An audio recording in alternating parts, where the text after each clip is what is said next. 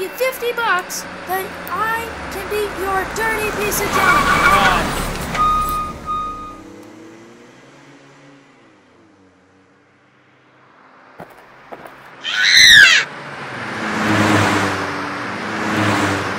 Ah, speeders.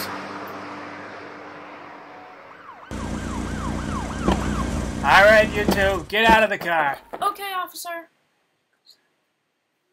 All right, the winner is Luke. Woo! Yeah.